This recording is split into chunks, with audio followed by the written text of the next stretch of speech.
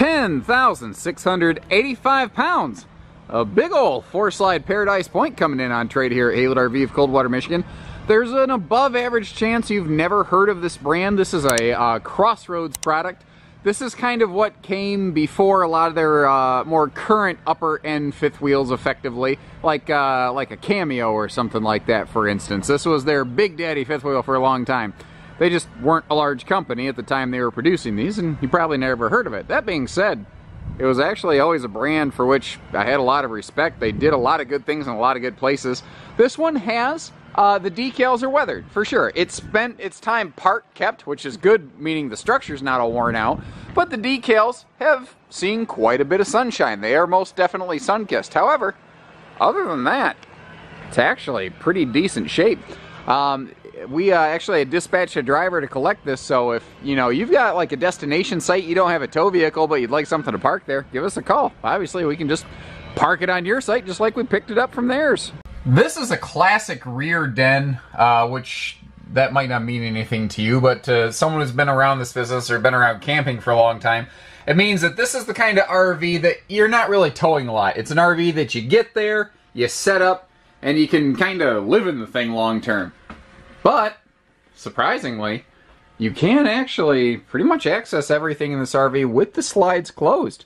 You can get back there to the rear living room if you really needed to, and Obviously, as you saw, you can get to everything here in the kitchen when you're traveling down the road, including the refrigerator. You really don't lose anything when you're traveling, which is kind of surprising on a big, big old rig like this. And what's really cool about floor plans like this is how they give you very clear definition of rooms. Like, you don't have a kitchen living sort of great room, as you would refer to it more in uh, household terms.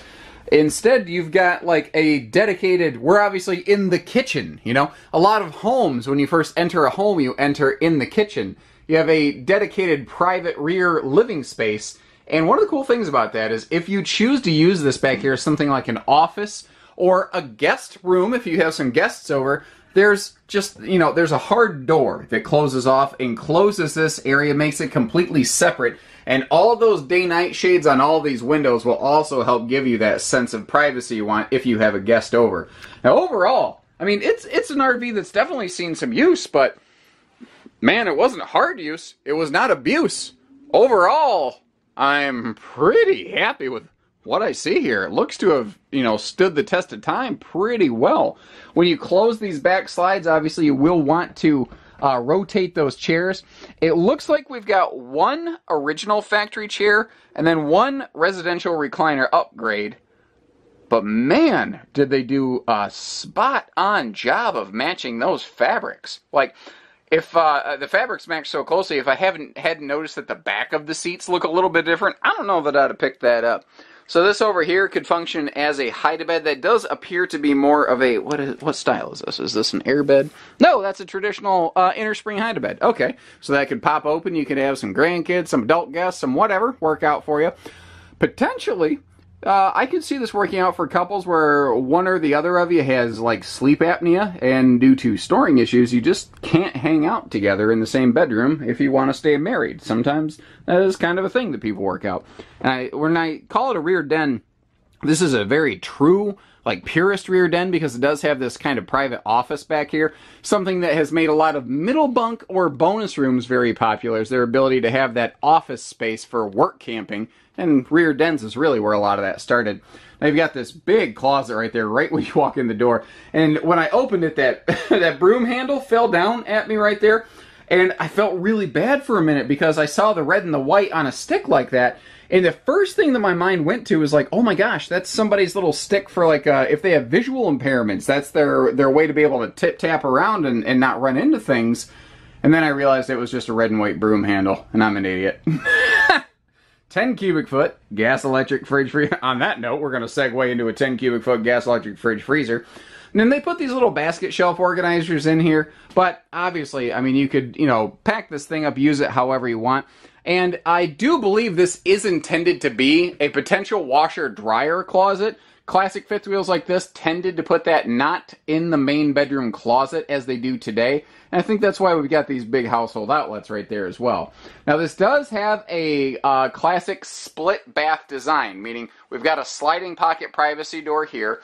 There is a sliding accordion privacy uh, wall right here so that if you do have guests back in that rear den, you can make sure that, you know, when they come up to use the bathroom, they're not staring at you sleeping, which is obviously pretty creepy. This is a 60 by 80 residential queen. It's very CPAP friendly in its current situation with these pretty healthy sized side stands on both sides of the bed, and you'll see power outlets right next to them. However, if you wanted to, you could remove these side stands and you could make this king bed capable. So it's a queen right now, it's king capable. This was also built with a factory installed second air conditioner, and I can tell it's factory installed because it's actually dual ducted. When that was when this thing was first built, that was a rare find. A lot of factory second air conditioners were actually just a drop-in AC. So that again is one of those uh, indicators that this was something a little more higher end at the time it was built. One of the only things that really kind of differentiates it from a more modern RV is, frankly, just this split bathroom design. That's just kind of the way that things had to be built, because this RV was already long enough that uh, the split bath helped, it actually shaves two and a half feet off versus a private bath design. And uh, a lot of times when I look into smaller closet bathrooms like this, on an older RV, I'll find where the linoleum flooring had cold cracked or curled, and I don't see any of that here. By and large, this thing looks to have been very well maintained. Now, the split bath does something for us, though, that a lot of modern RVs can't match, and that is this big wide open floor space up here in the bed bath area, so that if you want to actually be able to stand up, change your clothes, get dressed, you can do that here. And notice that not only do we have that full front wall closet, we also have this big extra closet contained within the slide out right there, plus a couple dresser drawers below. And right in front of that, you've got the uh, uh, the booby trap hatch, which is actually a, uh, a little flap. You can lift that up. It's like a, a trap door to, that you could put a laundry basket below it and make it like a laundry chute. A little addendum here inside before we hop outside.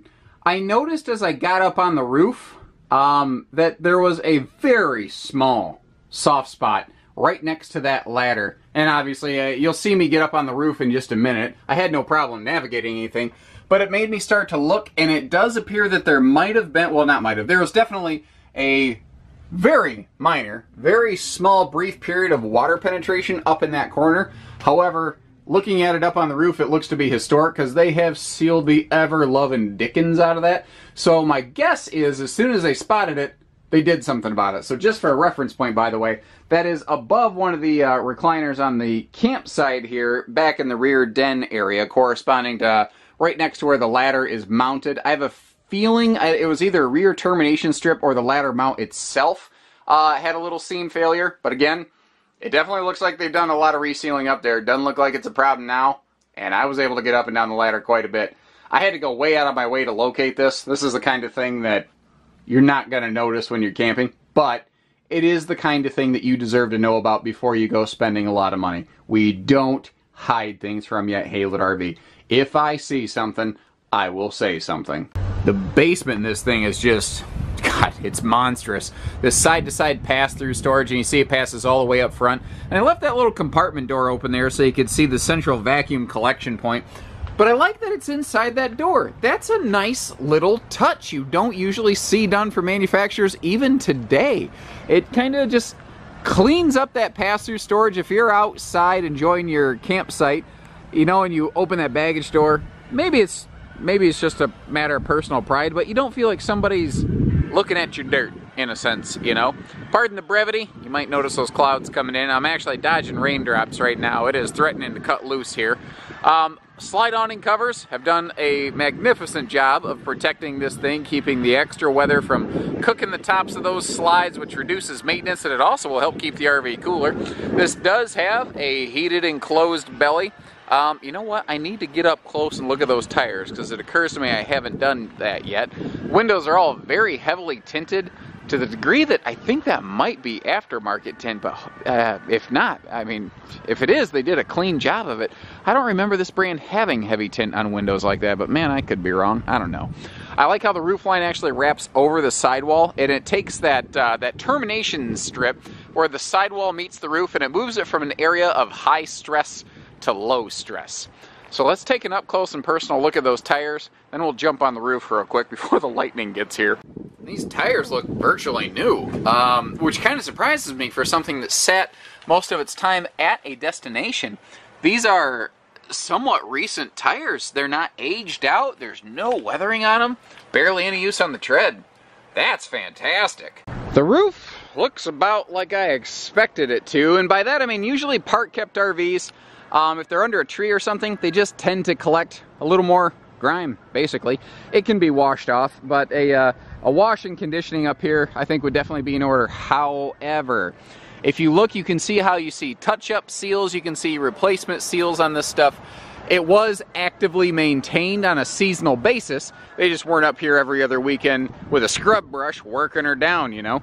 Now, the uh, roof of this, strangely, Crossroads never did a whole lot of vaulting on the roofing, but there's not a flat spot on this roof. Like this is a linear roof uh, plane. However, everything is either tilted forward or tilted backward. So it always has rain runoff. It's just not a side-to-side -side vault as you see more traditionally in RVs today. Obviously above the uh, bathroom vent there. They've got that max air vent fan. And as we spin around, you can see you've got that front bedroom air and the rear uh, living room air back here, giving us an air conditioner on each end of the RV. Means you always get good, even cooling throughout the entire RV. It also means you don't have a compressor directly above you in your kitchen uh, sort of dining area. So if you are sitting there visiting with friends, just a little easier to chit chat. So, pardon me, I'm going to, well, I, I was going to say hop off the roof, not hop off the roof. I'm going to climb down that ladder and get off this roof before that big old gray cloud uh, lands on us. But the good news, you can probably watch this and enjoy it from the comfort of your home, where you're not dealing with the wind up here like I am. And if it looks good, give us a call. We'll schedule a time you get to see it in person. And if it looks good then, let's, let's get you put together on this thing. Let's get you home. So take care, stay safe, have fun, and happy camping, everyone.